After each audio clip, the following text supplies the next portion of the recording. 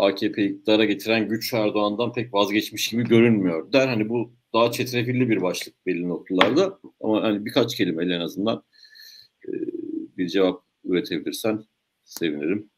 Ama destekliyormuş gibi de görünmüyor. Yani tuhaf nötr daha önceki seçimlerde görmediğimiz bir durum ortaya çıktı. Yani Amerika emperyalizm, Avrupa bu seçim Türkiye'nin seçim satım haline girdiği dönemlerde rengini belli ederdi yani. Örneğin işte Merkel gelir Erdoğan'ı desteklerdi. Amerika bir takım açıklamalar yapardı. TÜSİAD gazetelere ilan verirdi daha geniş bir perspektiften. Bugün bakıldığında hem emperyalizm o kadar güçlü değil artık. Aynı Belki zamanda da son söylediğin kısım yani emperyalizmin o kadar müdahil edebile olabilecek bir güç kendinde görmemesi kısmı burada belki önemli olabilir. Özellikle yani Türkiye'nin emperyalizme karşı kullandığı ikinci bir kart olarak mesela Rusya kartı. Yani Putin de gelmemeyi tercih ediyor. Çünkü o biraz daha Rus dış politikasının da kodlarıyla alakalı. Rusya bu tarz durumlarda çok yüzünü göstermek istemez e, ülke iç politikasına doğrudan müdahale olmak istemez. Ama Erdoğan hemen hemen iki, iki buçuk aydan beri gel şu Akkuyu'yu aç, gel şu Akkuyu'yu beraber açalım diye neredeyse yalvarıyor. Ee, ama mesela Putin buna en fazla ben e, bir ekrandan katılırım, Türkiye'ye ziyaret etmem yanıtını veriyor. Türkiye bu anlamıyla hani dışarıdan doğrudan bir politik müdahale olmuyor buradan baktığımızda. Evet evet yani e, özellikle son birkaç aydır e, ABD ile yeniden bir diyalog zemini tesis etmeye çalışıyor AKP.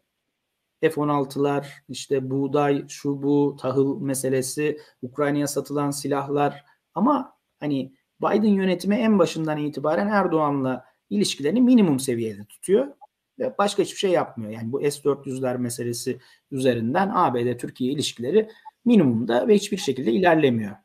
Öte yandan AKP'ye verebileceği bir tak AKP'nin ABD'ye sunduğu bir takım e, zeytin dallarını Putin Rusya görüyor ve tam da senin söylemiş olduğun şey birincisi Akkuyu'nun açılışına gelmiyor.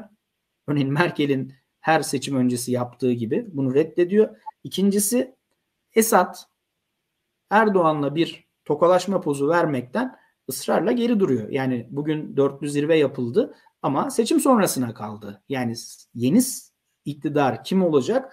Esad oraya bakıyor ve o vereceği pozun Erdoğan iktidarda tutmaya yarayacağını düşündüğü için Rusya baskı yapıyordur yapmıyordur onu bilmeyiz ama o şey girmedi. O topa girmedi. E yani bu nedenle de Mısır da aynı pozisyon aldı. Yani Sisi ile de öyle bir poz verebilmek için çok uğraştı AKP. Çok yalvardı. Tabii. Bunu Cumhurbaşkanları düzeyinde bir ziyaret gerçekleşmiyor. Ya bunu Şimdi yalvardı yani. Çünkü yalvardılar. Yani Tabii. Sisi'ye yalvardılar ve Sisi de bunu yani A- AKP AKP kendince bir denge politikası izliyordu Rusya ile ABD, Batı ile Doğu arasında. Ama hani iki cami arasında bir namaz kalmış gibi görünüyor. Batı doğrudan destek vermiyor.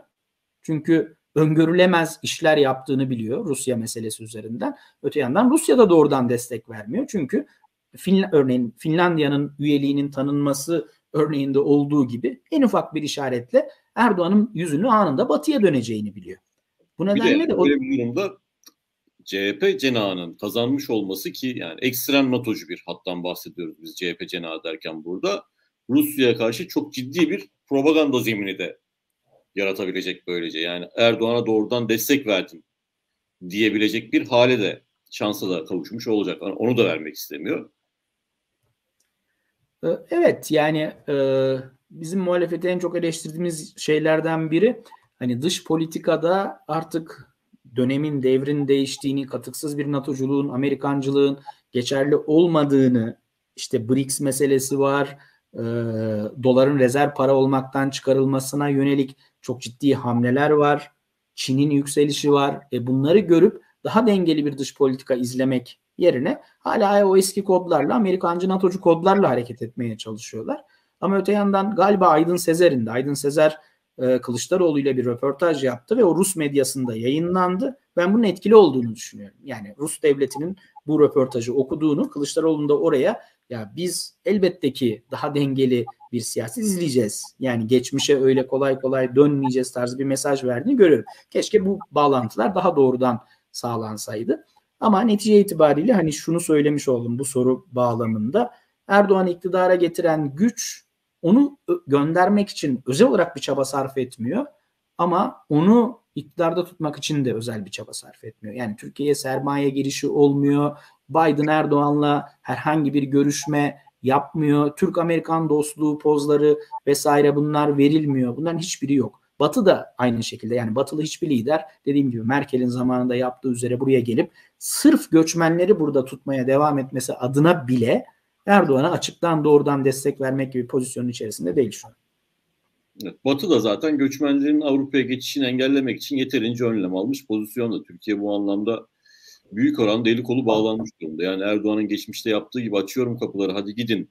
Tabii tabii. Dediğinde bir karşılığı kalmadı artık. Bunun Batı bunun önlemini büyük oranda aldı.